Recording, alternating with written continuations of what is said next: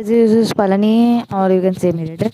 So I was just scrolling down to Roblox and just saw that Piggy updated in their picture and their name. I'm gonna show what they have updated.